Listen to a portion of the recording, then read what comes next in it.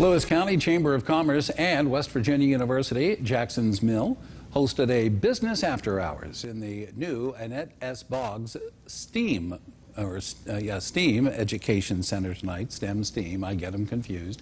Meanwhile, chamber officials say that they try and hold after hour events monthly throughout the county and that they are trying to add new events to add value to the businesses in the community.